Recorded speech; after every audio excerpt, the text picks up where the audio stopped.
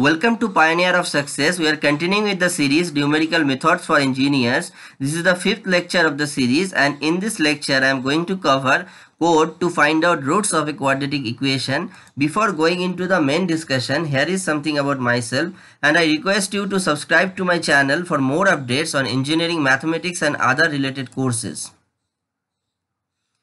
This is the generic form of a quadratic equation that is ax square plus bx plus c and those are the coefficients a b and c is a constant and here uh, the solution of this particular quadratic equation is given by Sridhar Acharya formula and that is x equal to minus b plus minus root over of b square minus 4ac by 2a.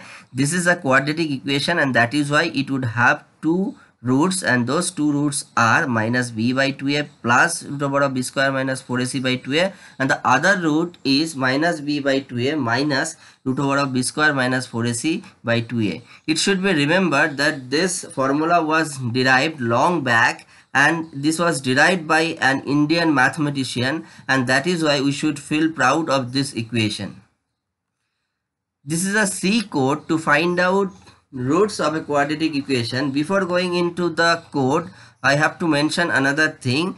Here this b square minus 4ac term what happens if this becomes negative? Then it becomes root over of negative number. That would be a that would be an imaginary number. So the roots can be real the roots can be imaginary. If b square minus 4ac is greater than 0 that means this term then the roots are coming uh, real if this term is becoming negative then the roots are coming as imaginary numbers.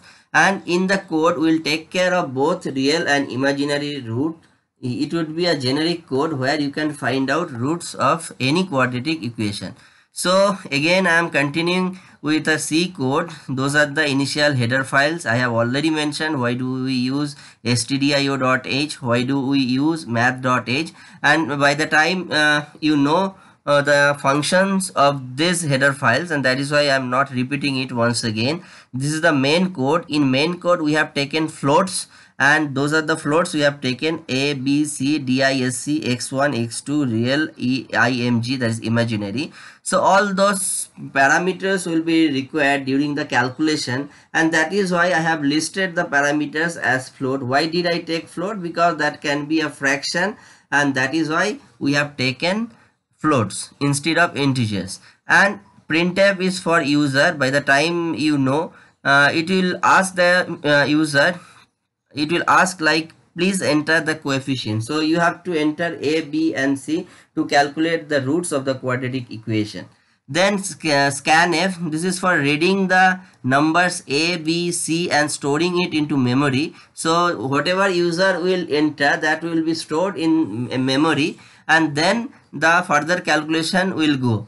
Before calculation as i told there can be two possibilities. That that is this disc can be greater than 0 it can be less than 0 when it is greater than 0 then the roots are real. When it is less than 0 then the roots are imaginary. So how did we take care of this fact is initially it is checking if DISC is greater than 0 if it is greater than 0 then this condition becomes true uh, and the loop goes to and the uh, and the control goes to this place.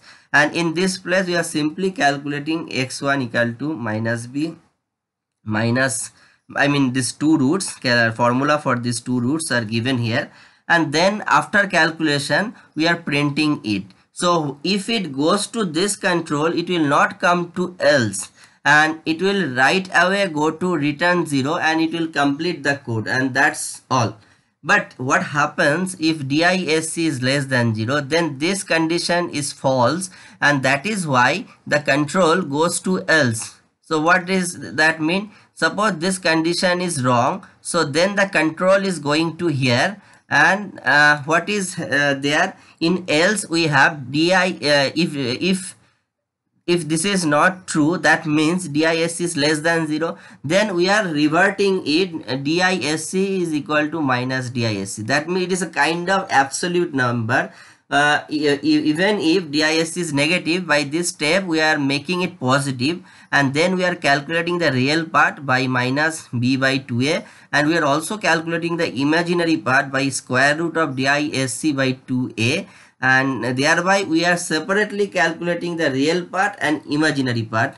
And then uh, we are printing it like this way.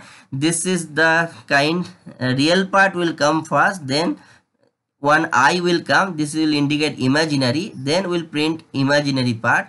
And for the other root minus i uh, minus uh, will come because minus b plus minus root over of b square minus 4ac by 2a and thereby we are calculating two different roots if those are imaginary.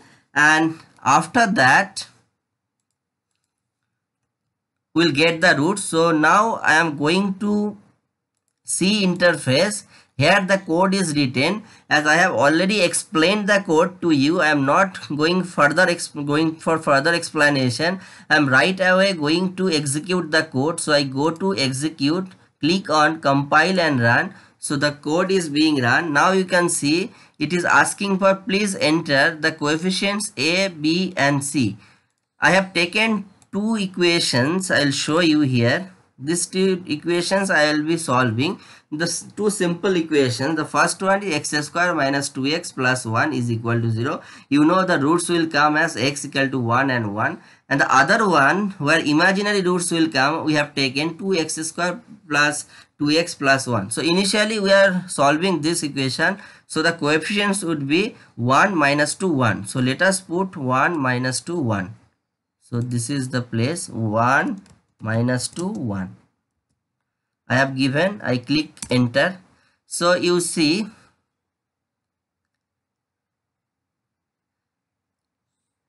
the first yeah you can see the imaginary parts are 0 and the roots are coming 1 and 1 so we go to the next one.